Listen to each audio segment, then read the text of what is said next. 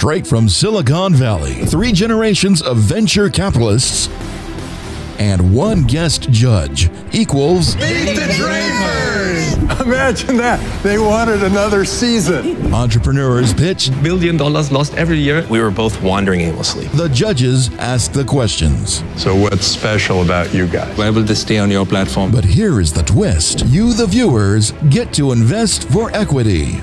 This is your chance to own a piece of the next big idea. To invest in a company, go to meetthedrapers.com, find them in this week's Entrepreneurs, and you can invest. You can share in their future success. At the end of the season, the entrepreneurs with the most funds raised are brought back for the season finale, where Tim Draper invests in his favorite company. become an entrepreneur because it's easy to get money. And that didn't happen in Wall Street.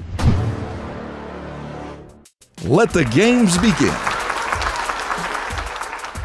Welcome back to Meet the Drapers. I'm really thrilled to be introducing our judges today. Our judges are Bill Draper, my father, a great pioneer in venture capital, and my team, uh, Siri Srinivas. She is awesome and does amazing work at Draper Associates. And Andy Tang, also amazing work at Draper Associates. He actually kind of runs the business of Draper Associates and Draper University and all of the operations. And for today, we've always talked about what entrepreneurs should do, but now we're going to talk a little bit about what they shouldn't do. What do you think an entrepreneur shouldn't do? So little things I pick up, the team dynamics. We have seen business not go well when the founders don't get along. So sometimes we ask them how long they've worked together. Some of the things they do, you could kind of pick up on that if they talk over each other or start disagreeing in front of the investors. So that's immediately a no-no. Yeah, they've got to be better coordinated. And also having faith in each other. They'll fight because they don't trust each other with their job, whatever the job is. How about you, Siri? I think the biggest thing I tell founders is to treat fundraising as a sales process, just like you wouldn't really uh, get angry with your customer for not buying your product.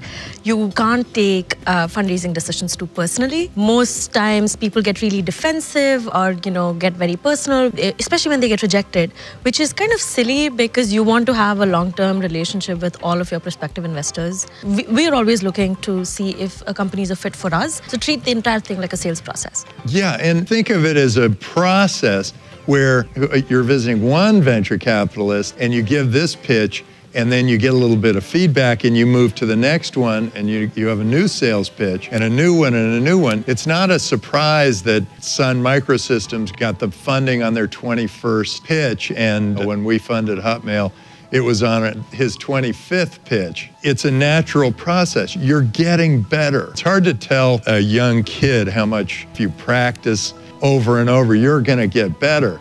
But they don't really feel that way. And same with entrepreneurs. They don't really feel like they're going to get better. They just say, here's my business. So why aren't you investing? You almost want to start with the low probability investors first. The You want to start last. with your spouse. They're the most honest with you.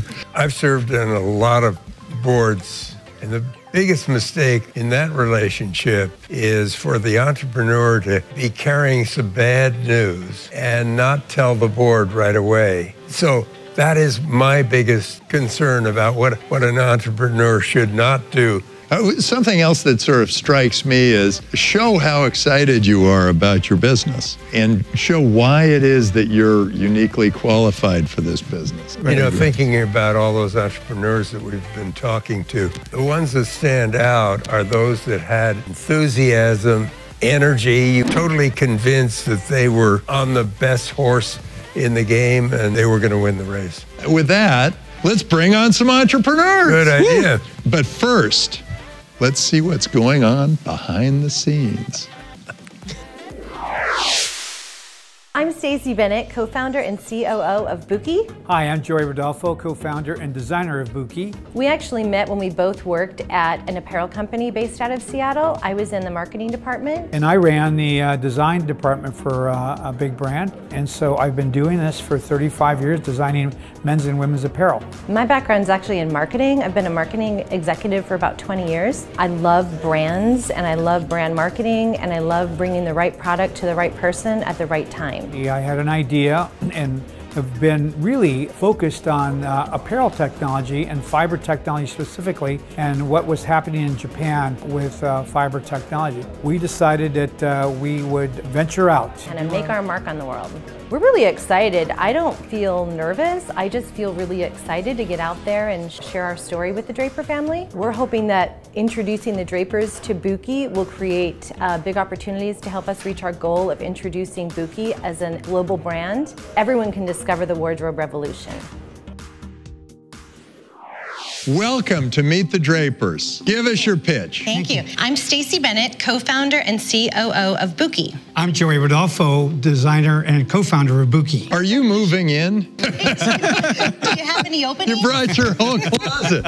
Okay, go ahead. Sorry. No, that's fine. At Buki, we're creating a wardrobe revolution with our collection of luxurious technical clothing that can take you from desk to dinner, and it's all machine washable. Unlike other brands out there, all of our fabrics are sustainably made. So we make about 10 different fabrics, and they range from pr producing benefits such as thermal regulation, keeping you at the perfect body temperature when it's cold outside, mm -hmm. to a hybrid technology that adjusts to your body temperature. Do you own the technology or are you distributors? No, we don't own any technology. We actually own the secret sauce that we use in putting our, all of our fabrics together. Tell a little bit about the secret sauce. We're on television, you could tell the world. Sure. all the secrets. it's no longer a secret well, sauce. There's a lot that goes into making fabrics. Obviously, it's the technology behind the knitting that's a secret, and also the way we blend these fibers. We bring the fibers in from Japan, and then we blend it with other fibers to create our own fabrics. The most important thing is that we do not use chemicals in finishing our fabrics. We launched the brand in uh, late 2016 with a pop-up store downtown Seattle, and it was quickly apparent that people love Buki. Our average order size is consistently $400 and our returning customer rate is 67%. So when people discover Buki, they love Buki. So we believe in the retail channel as a way to create an immersive customer experience where people can touch and feel and really discover the brand. Additionally, we're sold in about 62 high-end specialty retail boutiques around the country. It's been really successful and we foresee opening several more. So we did $845,000 in our first year and we're on track to do 1 1.3 million this year. Does it feel different? Absolutely. Yes. You can feel the fabrics. Please come on up. just come up and, and you guys want to try this? And feel the different uh, the different fabrics. Oh, this is very soft. Very soft, and then you have to feel our collagen fabric. This, so it doesn't feel consistent. It feels like they're like they're all different fabrics. They're, they're very there's, different. There's, well, yeah. there's ten different yeah. fabrics that we've developed. Each fabric has a different um, Here, range we'll of benefits. get back to your yeah. Thing. So, with the different range of benefits, we've created a desk to dinner wardrobe. Uh, part of our secret sauce, as I mentioned, is the knitting equipment that it takes to knit fabrics the way we're knitting them. 50 and 60 year old knitting machines are embedded in every factory. Ours are state of the art knitting equipment that we use. Your sales are 1.3 million. Are you making a profit or are you losing? We are just breaking even. We've and how have you been financed so far? We financed ourselves. it uh, ourselves. We've put in in about uh, just over a million dollars of our own money. We wanted to get this thing far enough to be able to get our brand out there. I'm not sure you're familiar with Cutter and Buck. I was a co-founder oh, and yeah. Cutter and Buck Public, so I've done this before with brands. What was your role at Cutter and Buck? I was the co-founder of Cutter and Buck, and I designed the entire brand. How do you divide up your work between the two of you? Part of what we want to do with, the, with raising funds is we want to hire a CEO because right now I play the role of the COO and CMO, and Joey plays the role of the president and designer. Yeah, we know we need a global strategist CEO because we see this as a global opportunity with our brand. When I was with Tommy Bahama, I could see how important it was to have that visionary person that's thinking way ahead, that understands the licensing part of a brand. So I've been a marketing executive for 20 years, worked for Amazon.com, launched their direct mail program way back in the day, worked for Nordstrom, ran their database marketing department. And so I really, I head up the operations of the company and then I play a marketing role. Now, why did you do this? I mean, there are so many stores with so many different clothes. Why start why? a business in clothes? Every time you put on that shirt, you wear it for one day, it goes to the cleaners the next day. Sustainability is a big deal for Buki, okay? So with our clothes, you wash it. And, and you iron them out or? Most of them are hang, hang dry. to dry and they're good. Yeah. What do you envision in 10 years? Does this become like a Versace in 10 years from now, we would have the consumer mind share of being the leader in technical clothing. I think that is a big mistake. Being, being known as a technical brand mm. does not go with clothing. You mm. don't feel good if you're a technical brand. It doesn't sound, I would tw- try to change your marketing program a little bit. When we have customers come in their store and they don't get technical either, but they do get is easy care and I do I have to iron it? That's the aha moment when they, you tell them that they don't have to apply an iron, they don't have to send it to the dry cleaner. Yeah, easy care, soft care anything mm. eco-friendly, not mm. technical care. Yeah, I like the, mm. the eco-friendly, and you can go into your technology and right. why this technology works. Right. Hmm. And how it's wonderful, yeah. but I, uh, yeah, technical clothes. Yeah, okay. Am I paying a premium for this? Is this higher end? It is higher end. And, and you talked about ingredients. Are they all natural ingredients? You said no chemicals go into it. We blend Supima cotton. We blend it with our technology. And in plating, you know, you'll have Supima cotton on the face of the fabric and you'll have the technology against your skin. So Touch inside, does that make you sweat more? No, it actually is the opposite. Or I was in New York recently and we it was hot. We had a customer that came in with a technical shirt. He goes, oh, I'm wearing this technical shirt. It was stuck to his skin. So the fabric was doing absolutely nothing for him, right? So we sent him out with one of our shirts. He came back the next day. He goes, Oh my God, I'm dry. I'm dry. So to your point, our fabrics are designed to keep you dry. So what's your biggest problem today? Customer acquisition is everybody's biggest uh, concern as you go out there, right? acquiring a customer and being able to tell your story. Now, we think that the competition is going to continue to come this way because the future is that people don't want to dry clean their clothes, and I heard that for 10 years. So this is the future. We need to scale this up quickly so we can stay ahead of uh, the curve. Well, terrific. Thank you Thank so you. much for coming to meet yeah. the Drapers. Our pleasure. Great. Thank you. Pleasure Good. to meet you. Welcome Bill. to yeah. the show. Pleasure to meet you. Thank you. Thank, Thank you for the great question. Pleasure. I think it went great. Honestly, it's like anything you go in with a plan and there's a little curve in the road and you just kind of go with the curve in the road and they had great questions. They had great questions some other people have not asked. We talk about our brand positioning because we're a new brand in this space and you know we refer to it as a technical apparel brand. People are confused oftentimes, but the aha epiphany moment happens when you actually try the clothes on and you actually wear them and you know that you don't have to dry clean them, iron them, that you can wash them. And that's, I think, what we had to get through I think our big picture takeaway was the question that Bill Draper asked. Our brand positioning being so founded in technical is something we're definitely going to take away and talk about with our team and uh, hopefully come back around the finals with some pivots that they'll notice and be impressed with, hopefully. I think what we're most excited about with the crowdfunding is that we started the brand in Seattle and we want to expand to the rest of the US and then eventually the globe. And so this allows us to accelerate that goal much quicker. We'd love if you could join us with our wardrobe revolution and invest in Buki. Go to republic.co forward slash Buki, B U K I. Join the wardrobe revolution. Boom. So let's see what our judges thought about Buki. What did all of you think? I thought Buki will be a success. Very good concept. It's good technology. I gave them a great brand idea. And, if they uh, take if it, they take it, they'll win. If they don't, forget them. I think this is sort of the golden age of consumer brands. I don't know if 20 years ago we'd be investing in a clothing brand. Uh, there have been a whole bunch of brands that have sort of built a whole new way of selling something that's very ordinary, like Casper and mattresses. This is the right time, and I think they have a lot going for it. But I didn't see anything new on the business model front. To think about investing in innovation and technology, I don't think of textile as an industry, but think of brand potentially. Then I started thinking, I actually remember learning in marketing, there's something called a snob good. It's too cheap. Businessmen want to feel like they pay up. We pay $100, $200 for a dress shirt, getting high quality Italian dress shirt. So these guys, their price point is about $200.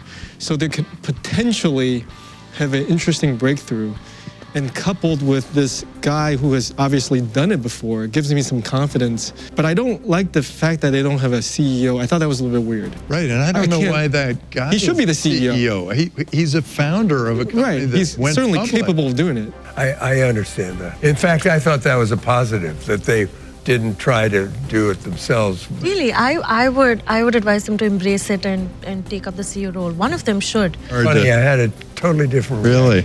We're going to go to the crystal ball and we'll get a little vibe and then we'll sort of see what the crystal ball says. Oh, you've already gotten your vibe.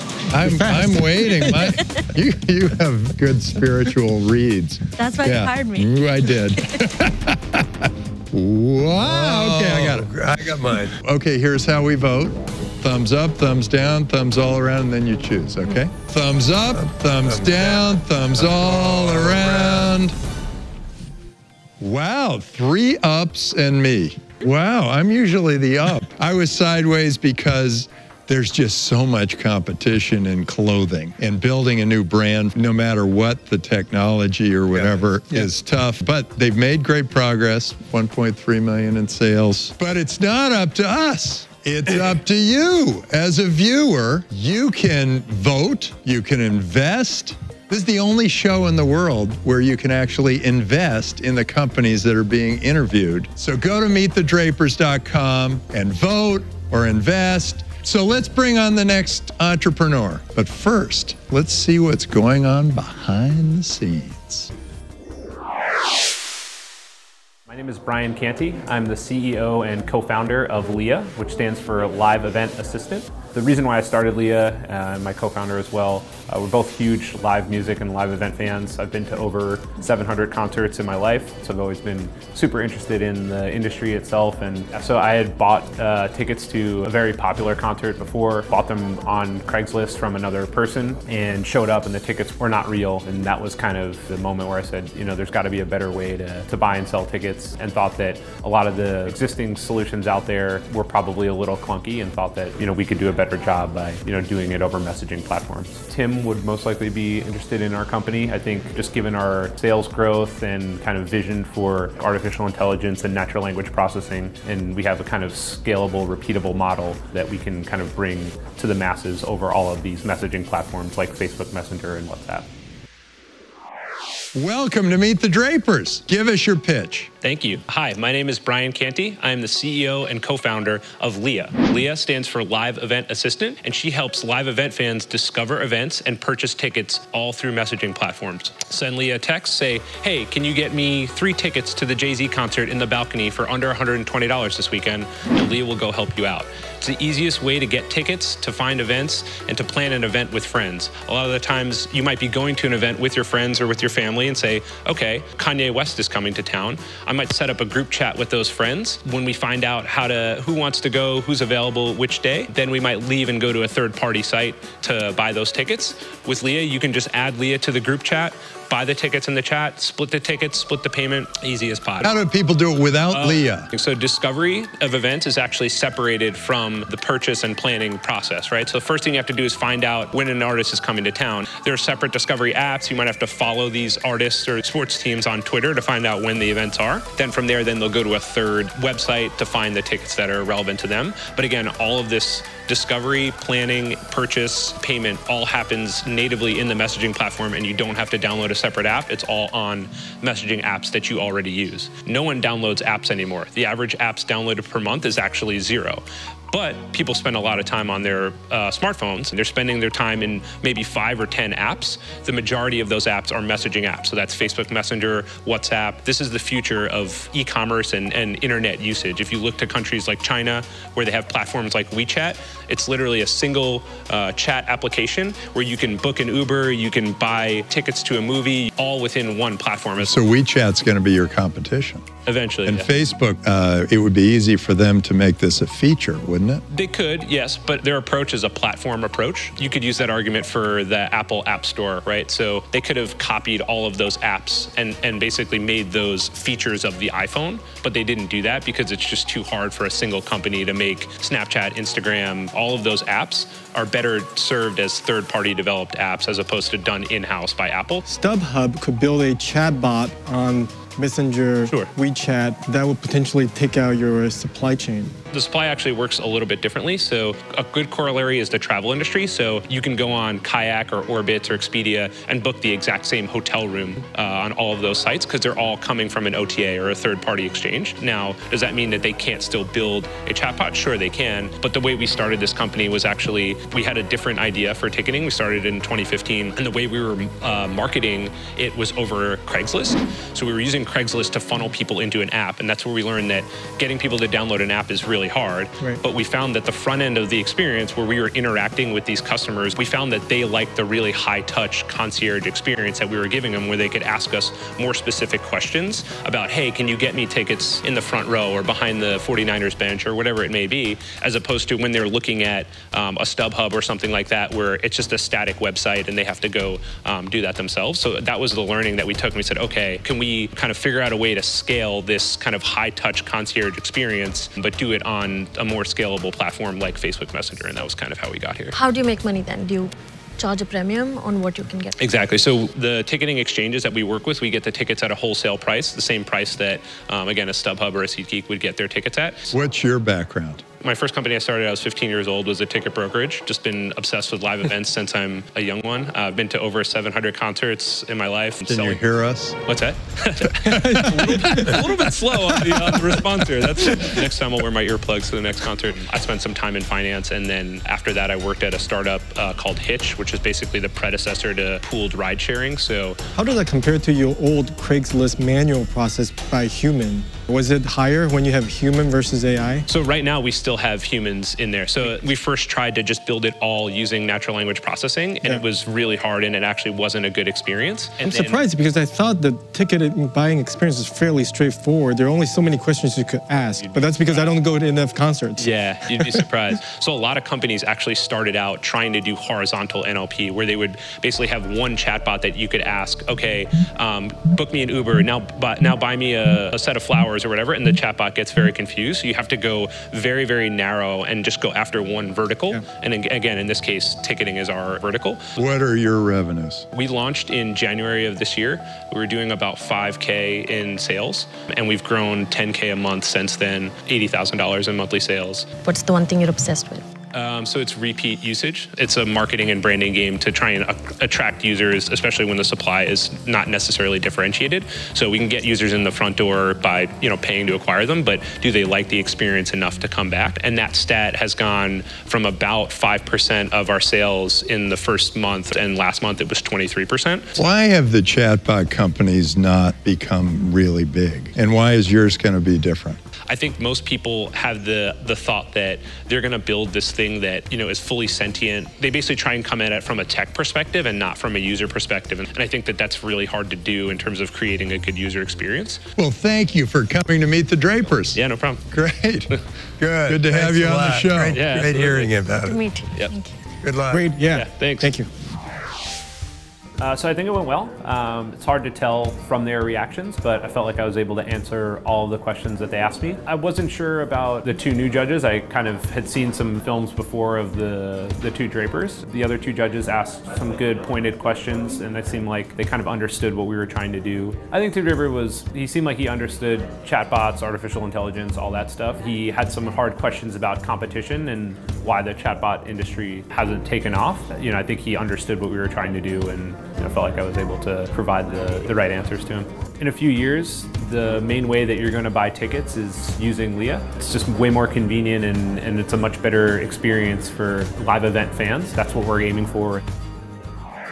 So let's see what the judges have to say. What did you all think of LEA? I really like the founder. I thought comes through he's passionate about ticketing. He started when he was 15 years old. So clearly he's in it for the passion and he kind of evolved with technology. So I kind of like the vision, but I do think it's a little bit early. It's still interesting to see how the users will really embrace all the chatbot technology. But overall, I thought it, it came through really well. And I really got a feel of, of what he's feeling as a founder. And I thought that was great. I really resonated with his idea. While he was speaking, I was thinking, I've never, I, I can't remember thinking, God, I wish I could talk to someone before buying these tickets. Because I feel like that's what a lot of internet websites actually solved for us. We didn't have to go through that awkward conversation with someone, going through really basic question and answers. I'm not sure that they really solve a massive problem. It's just probably easier to go online and select your seats. And I'm just not necessarily a fan of this type of business. Maybe we should ask Siri. Siri, what do you think of chatbots? It says Chad Potts. that's, that's, a different You're show. absolutely right. How about you, Dad? What'd you think? Well, I, I, I like him, and I have never been to a concert. We're gonna How have to go. You know how I do it? Beyonce is I- playing. We're gonna have to know, go. You know what I'd do if I wanted to go to a concert? I'd ask my wonderful secretary to arrange it. So you have a real feel for this marketplace. I really know. you have a yeah. My feeling was he is good. He understands his customer because he is his customer. He's trying things. He's going incrementally. Yep, I like And I, I think that will pay off over the long haul. I'm not sure the chatbot solution is what I'm looking for. I think it's still too early. That's why the big guys haven't jumped in yet. We're going to have to consult our crystal ball. So let's see what what do we all think of LEA and oh I'm I got it I got a feel. let's do it. Thumbs up, thumbs down, thumbs all around. Boom. Oh. Three sideways, one down. Interesting. But it's not up to us. It's up to you, the viewer. Go to meetthedrapers.com. You can vote up or down. You can invest. We are the only show on television that allows you to invest through a crowdfunding app and be a part of LEA. And then let's go see our next entrepreneur. But first, let's see what's going on behind the scenes. My name is Rob Smith. I'm the CEO and founder of the Phluid Project based in Manhattan, New York City.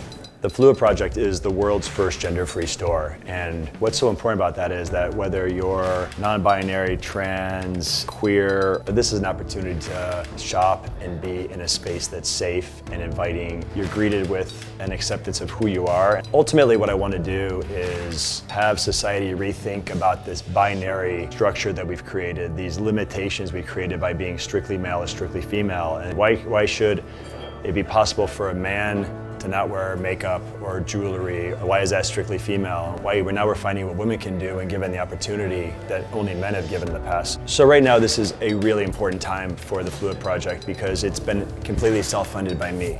Now the opportunity is where we go from here.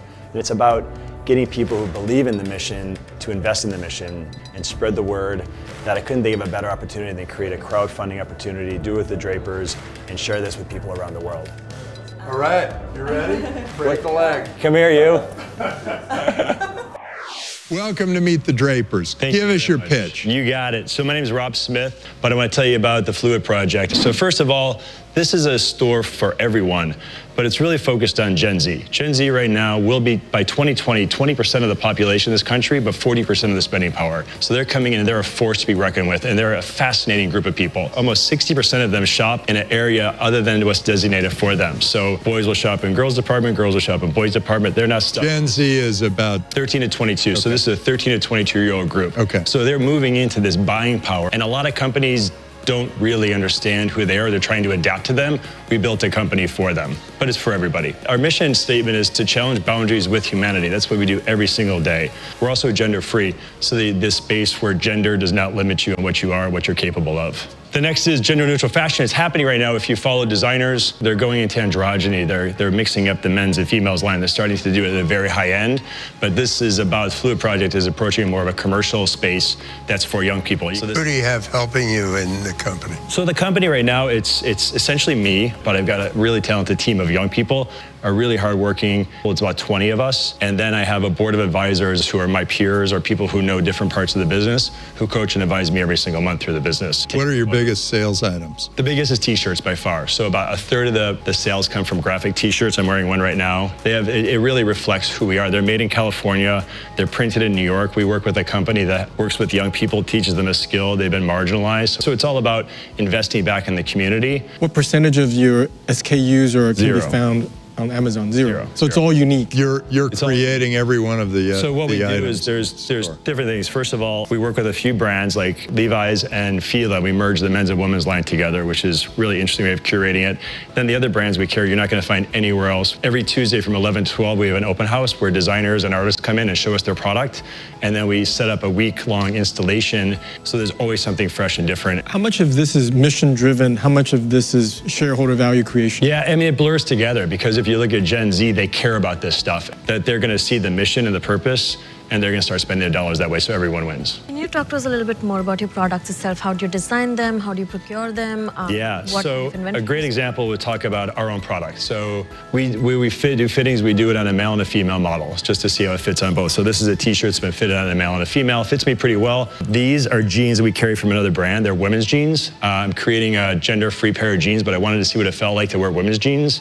It's a really interesting experiment. So the pockets are really tiny. Women know this. They're really small. The zippers are super short. Pockets are a big problem. I don't know why they don't put pockets It's ridiculous. I think I think women are going to be so excited about this because you literally, if you put your keys in here, it's literally like goes that far. You can't really put anything in here. The other thing we did is we took sizing away. So it took words like extra small and extra large away, replaced with numbers, because there's a certain amount of body shaming that happens when you walk in the fitting room and you're like, "What size are you?" You say extra large. Sometimes a person feels really bad about themselves, but you pass them out four, they feel much better about that. And is your and you have one store so far? So far, one store. We've been and so you're March. thinking that you might try to franchise this Absolutely. store? That's in year uh, year 2020. Right now, my goal is to make this store as successful as possible, which is doing really well right now. We're doing right now we're doing about my overhead's about $100,000 a month, and we're doing about $100,000 in sales. And th- those sales, are, what are the margins on those sales? So the margin's right about between 55 and 60 percent because we're private label is half the business, which is a higher markup, and the other half is other brands. So you're losing about fifty or sixty thousand a month. This is the way I look at it. I invested in the glump at the beginning of the season, which is the stuff.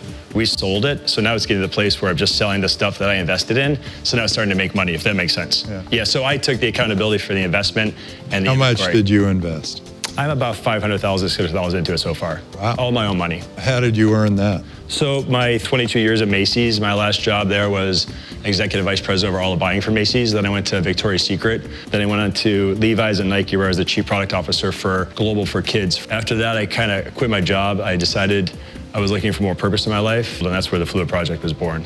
Is the gender free? Is that a big trend in Gen Z? Are there other movements that's going on? When I when I decided to do this, I found out that this movement is happening. That I didn't realize how big this was. So gender itself is a social construct that we've created over hundreds of years to say men are this way, women are this way. But it's fascinating if you cross borders or go to different countries. If you go to India, men are wearing skirts, lungis, and dresses, and men are holding hands, and and social this social construct we created. So Gen Z is like, you know, screw this. Like this is how we want to be, and no one's taught them. It's just something that they've adapted and they're moving towards. You don't think it's a fad that would Oh just. God, no, it's not a Okay. fad. It's not. But a if fad. the zipper doesn't go all the way down, there aren't many guys who are going to be uh, Well, that's why, confident that's why, enough to do what you're that's why doing I there. fixed it. So yeah, I do have to draw my pants, so, which is always kind of funny. At the airport bathroom with my pants down. Men's clothing is is foc- the focus is on comfort, and for women it's about style or fit. Yes. which is stupid. It It's so shouldn't be that stupid. What's so fun is like I watch people walk into the store, and you know they're tourists. They think it's super fun. Like uh, it's a boyfriend, a girlfriend, a husband, and wife. They're like we can shop at the same store together instead of going to different floors. They have a blast. Or there's two two dads bringing their kids. One who's non-binary, the other is a 10-year-old boy, and they're best friends, and they're shopping together. And to find a space that they can be themselves, to shop free, to be their authentic selves, it makes it all worthwhile. Well, terrific. Thanks so much for coming on to meet the Drapers. Peaches- peaches are swoosh. Good. I'm, I kind of like pink. I know. I can live with Yeah. that. Yeah. Now you got to take pictures and Good hashtag job. it in social. Good job. Yeah, yeah, get, get all of your social media. Oh, yeah. We want all your friends knowing about it. Yeah. I want it a little lower. Thank you. This is great. I like this. Any No, packs? well, you know what? It's not called a fanny pack. You can't call it a fanny pack in Britain. It was good in there. I, th- I think that I got most of my points across. I probably would do a few things differently to try to focus more on the money I'm raising and what I do with it. I think we had a really good rapport. We had a really good conversation.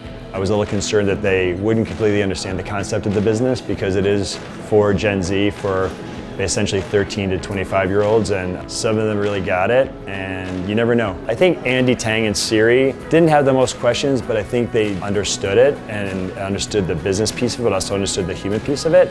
Tim got warmed up at the idea, and near the end had a lot more questions, a lot more engaged, but just took a little bit of education to get there. But overall, it was the rapport was great. The interest levels seem really good. I'm moving ahead with this crowdfunding with Republic.co, uh, and I'm going to raise a million dollars. We're going to take this business from being one store and a decent website to being a worldwide brand. So let's see what our judges thought of Phluid. What did you all think of Phluid? I really loved it. So um, again, we spoke a lot about branding. I think Phluid is at the beginning of this huge upside on what is a political movement as well. Gender fluidity and kind of questioning why women must wear pink or why men must wear blue all the time and why we can't really wear what we want. It's it's a big conversation, but it's also the right time for it to become a consumer trend. So I liked everything about the business as a consumer. Now I have some questions about how the business would grow but I think this is really cool. I learned something today. I don't know anything about Gen Z. I actually used to pride myself knowing a lot about millennials because we hang out with them at Draper University. I think for me, I knew very little about gender fluidity.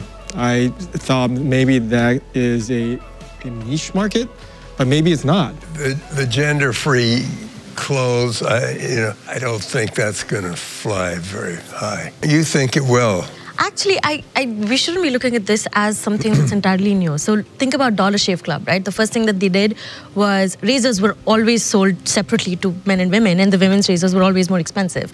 Dollar Shave Club came along, said there's just one razor, same price, it's low and it's for everyone. And they grew because that's what people want. People don't want to pay a gender premium. So my thinking was the store is really unique and interesting. And I yeah. think if those clothes were really great, then they'd probably buy them. The market is one that even if he is the pioneer and he gets in there early, uh, will be replicated in somebody who's a really top marketing business person is going to win this market. If it takes off, his competition will flood him. I think he will require will require a true expert in retail. And it's this is a tough business. I'd be a customer, but I don't think I'd be an investor. But let's check with a crystal ball. Good idea. Maybe Beanie, beanie. Phluid. I'm feeling fluid. Druid fluid. All right, I got it. Okay, here we go. Thumbs up, thumbs down, thumbs all around. Three down, one up. Actually, that's usually a good sign. So it's not up to us, it's up to you. So you can vote up, vote down, or you can invest. Just go to meetthedrapers.com. Stay tuned for the Crypto Corner, where I'll interview some extraordinary expert in crypto, Bitcoin, blockchain. And after that, we're going to do a big wrap up.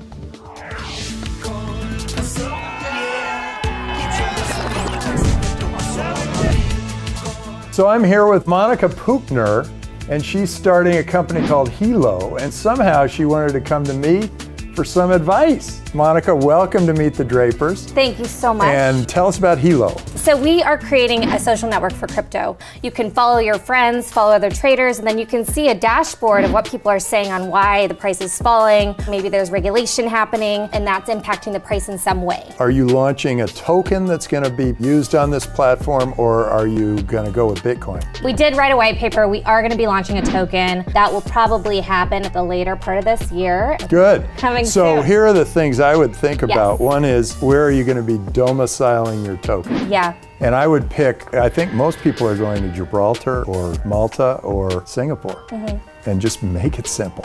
The lawyers have been making hay out of this, and they're doing a beautiful job of creating a really complex system for you. Make it simple. You know, you've been involved in Bitcoin for a long time. What kind of advice would you give kind of young entrepreneurs? If the company wins, you want your investor to win. Of course. If the token wins, you want your investor to win.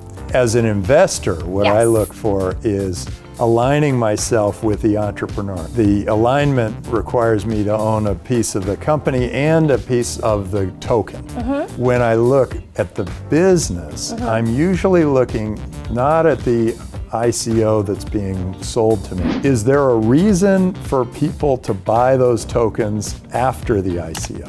Is there a real marketplace that is being created? You're saying, hey, we're going to be the community around Yes. tokens and Yes.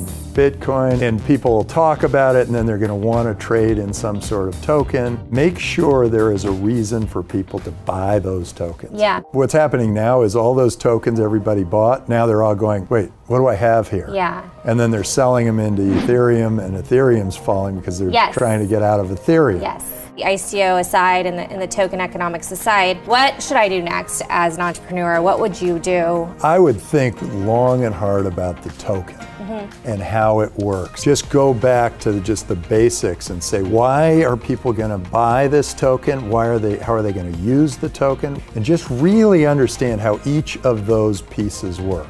And you've got to create a network that Facebook can't just turn around and create Right. because they have 50 billion users or whatever it is. Almost the entire world. Right. Right. And then why are you and your team particularly suited to do this job? Yeah. And why is it somebody else isn't?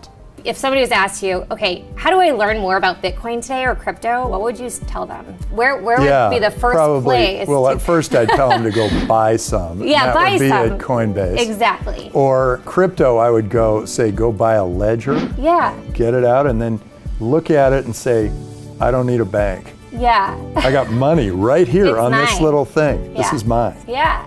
I tell people to do those two things so that they know it themselves. It's not all hearsay. Because Yes. whenever I look at press, I train myself to say, who wrote this? Yeah. Every yeah. time, What's every time I read something, who wrote this? Why? Yeah. Why'd they write it? Instead of like, oh, these are all the facts, that must be true. My advice to you is make sure Keep there's simple. a and make sure there's a real reason for me to come to your site. Or ideally for somebody who's a lot younger than me to come to your site Yes. And your customers will grow with you. Be flexible and grow with you. So keep that in mind. Thank you so much for the advice, Tim. This has been wonderful and glorious to get to meet you. Your advice is going to really help us traverse the next steps in our journey. So, appreciate Monica, it. it's great to have you here. Yeah. And since you've Always been on. Meet the Drapers, what happens is we adopt you. So now you are a Monica Draper. Monica Puchner Draper. Okay, Monica Pigner Draper. Yeah, okay, yeah. awesome. So welcome. Thanks for being on the show. So, what did you all think of this amazing day? I thought we had some really good entrepreneurs. A lot of variety in the, what they were trying to do. I'm usually 90% for them before we even meet them and hear what their idea is, just because I love entrepreneurs. And so I thought it was a great day. I think it was a great day too. We saw LEA, the new kind of ticketing on the bots. We saw this Phluid. I mean, I think the guy is a, a really good brander. I mean, I gave him a down, but he he's got a brand and he's figured something interesting out. And then what was our third one? Buki. Technical wear. So we had two fashion ones this time and tickets. So you can go get dressed up and then you can go to go to your concerts. So I thought it was really a great day and I think I feel that same way about entrepreneurs. They're doing something. They're they're mission driven and they really have something to, to do and prove. Of the three, I think I would probably choose the you know what's really funny is I might of the three, I might choose the one that I voted the lowest on. The Phluid? because I think the guy has so much energy that something might actually happen. Which one? Coming around to the revolution. I, I, I may be coming around to the revolution because there's a power to that personality. Yeah. Although I don't know if he has the skills to run a good retailer, and, um, but he's the one who kind of sticks with me the most of the three. My vote is for Phluid all the way, completely from a business lens. If you can expand or double the market size for every product that you've got, then that's great for a business. Plus, I think he's great. With all three companies, it was really interesting how personal journeys kind of translated into a lot of problem solving and then building a business, which is what we love to see. In case of Phluid, I think that he took his experiences from Macy's and from Victoria's Secret, saw what was going on in the market, and took personal experiences and personal view of the world to create a business, which I think is great. So, one, this was a great day, but um, I, my words for Phluid. I think I'm staying with the safe bet. I know the tech market well. When it comes to brands, to me, it's almost a hit driven business. You know, I would bet not on the horse, maybe bet on the jockey. Right? So Buki, I think it's great. You have a founder who has done a couple times, so that seems like a safer bet. And then the last one, Phluid Project, I think the founder is just so passionate. But the LEA project, that to me it's a it's more deterministic you go from each technology shift there ought to be a new winner it may not be a billion dollar outcome so i think there's some value i'm really appreciative of them coming in because i derive energy from their pitch by just sitting here i feel more energized before the meeting started so so that is something that's very difficult to quantify and i, and I feel that well, great to have all of you here on Meet the Drapers. Well, uh, thank you. You're, you're both honorary Drapers already. And Dad, great to have you on yeah. the show once again. So see us next time on Meet, Meet the, the, Drapers. Drapers. all right. Satoshi Nakamoto so for Christmas, I took a whole bunch of my male friends and got them all pedicures and manicures. And they were so scared to walk into a salon. I'm not saying that pedicures are particularly feminine, but it's just really not, never, never been acceptable for men to kind of enjoy taking care of themselves, right? Getting a face mask. Or, what but, is a face mask? oh my God. After this, we're getting you a face mask. No. no way. You, your life will never be the same again. You know, I think we should have a whole show on this but we're out of time. so, yeah. Thank you all for coming. Bankers shock bureaucrats too. Governments don't know what to do. Live long in blockchain.